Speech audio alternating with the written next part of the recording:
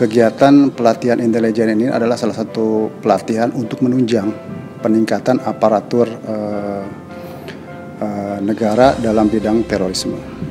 Kita ketahui bahwa selama ini kita sudah melakukan kegiatan-kegiatan pelatihan terhadap personil-personil aparat penegak hukum yang lainnya.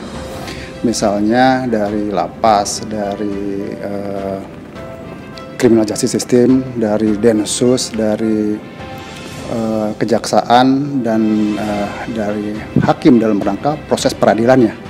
Nah, dalam pengungkapannya kita tidak boleh juga lepaskan bahwa kemampuan intelijen juga harus dimiliki oleh para aparatur negara.